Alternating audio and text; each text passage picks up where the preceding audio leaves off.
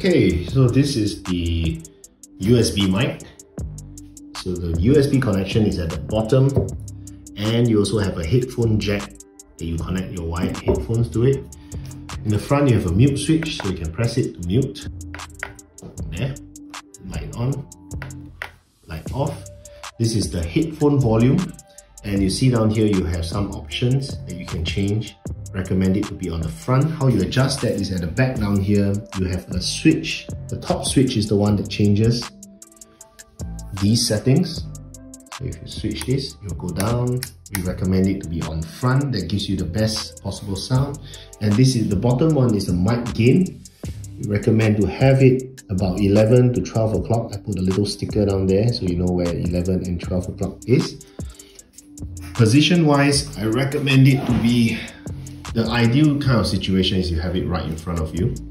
So it looks something like that and then you'll be speaking straight into the camera with the microphone down here.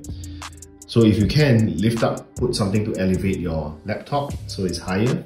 And the next thing, you would want to have the microphone not more than one foot away from where your mouth is.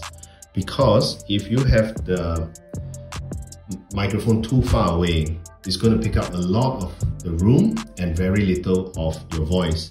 The further it is, the thinner your voice will sound like. Okay? Here's a step-by-step -step that you want to go to. So you go to your preferences, which is down here.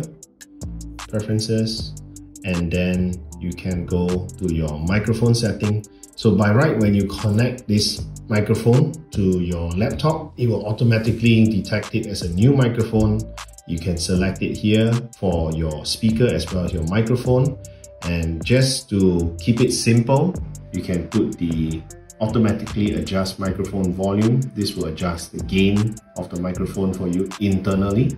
Why I recommend monitoring from here directly through a wired earphone is so that you can hear the sound directly into your ears from the microphone so that you won't be hearing it through the laptop, which sometimes introduce some latency or lag. And also because this is louder, you would also not yell into the microphone as much.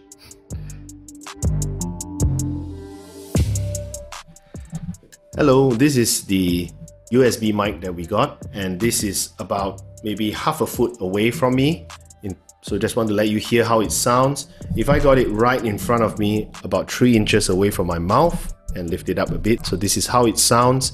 And if I put it into something that looks a bit nicer on camera, about a foot away, and this is how it sounds about a foot away from me.